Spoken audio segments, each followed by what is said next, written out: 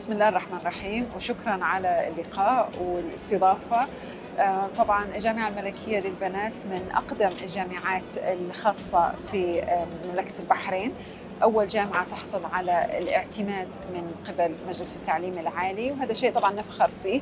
آم، من آه، أيضا من أول الجامعات أو أول الجامعات التي حصلت على الاعتماد من آه، مملكة المملكة العربية السعودية الشقيقة فمن الأشياء اللي تميز الجامعة. الجامعة أنشئت في 2005 آه، من قبل مجموعة من المستثمرين اللي كان لهم رؤية في كيف ضرورة إنشاء جامعة تختص بتعليم المرأة وبتمكين المرأة.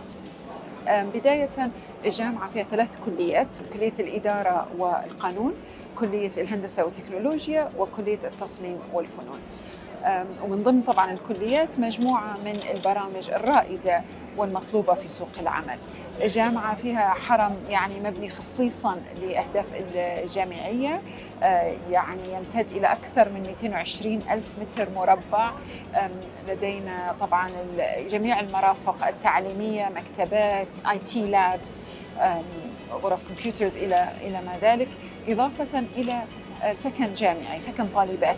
وهذه من الأشياء اللي تميز الجامعة إن بالذات للطالبات مثلا من آه، من دول الجوار من آه، من مملكة السعودية ومن أي دول أخرى آه، هناك سكن مهيأ آه، غرف فردية أو زوجية بدورات مياه يعني خاصة آم، بحيث إن تكون الطالبة قريبة جدا وعايشة في أجواء ال- الجامعة معترف بالجامعة من قبل آه، كثير من ال- المؤسسات منها طبعا ال BQA محليا ال ISO ال ISIC وما إلى ذلك من اعترافات. مؤخرا آه، آم، صرنا associate members من ال BQA عفوا ال QAA وهي المؤسسة الجودة البريطانية. اتفاقية التجسير ما بين الجامعة الملكية للبنات وجامعة ويست فيرجينيا في بريطانيا عبارة عن اتفاقية تم إبرامها مؤخرا ما بين آه، الجامعتين.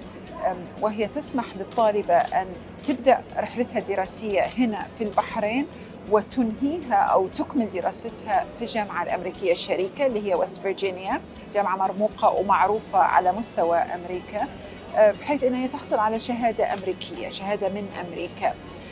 بالنسبة للطالبة ممكن تختار أن هي تسوي سنة هنا وثلاث سنوات آه، في أمريكا أو سنتين في البحرين وسنتين في أمريكا أو بالعكس اللي هي ثلاث سنوات في البحرين وسنة في أمريكا تنهي الدراسة في أمريكا. الفوائد من ال- الاتفاقية كثيرة طبعا بس أعتقد أهمها وكولية أمر يعني أنا أت- أتكلم قبل أكون رئيسة الجامعة أهم ال- الميزات أن تعطي مساحة للطالبة أن هي تبدأ الرحلة الجامعية ورحلة الدراسة الجامعية ضمن شيء مألوف أم، ضمن بيئة عائلية أو بيئة جامعية مريحة تعرفها. إلى أن يتم يعني التعود على متطلبات الدراسة الجامعية. وممكن حتى يكون في مساحة للنضج وللنمو يعني بالنسبة للطالبة.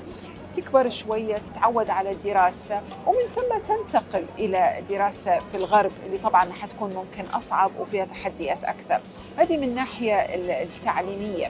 من الناحية المادية هناك اتفاقية مع الجامعة الأمريكية أن الرسوم تكون مخفضة بالنسبة للطالبات القادمات من الجامعة الملكية للبنات فطبعا في ميزة في هذا الموضوع. آه، إضافة طبعا إلى أن الشهادة تكون من جامعة أمريكية مرموقة وهذا شيء يعني يميز الجامعة.